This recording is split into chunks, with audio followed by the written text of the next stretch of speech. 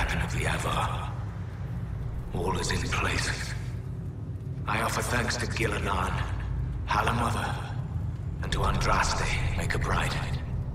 As you were raised up from mortal men to stand with our creators, our makers, so raise me up now to defend this world. The Inquisitor honored both the Maker and the Elven gods. They're not so different, Draken.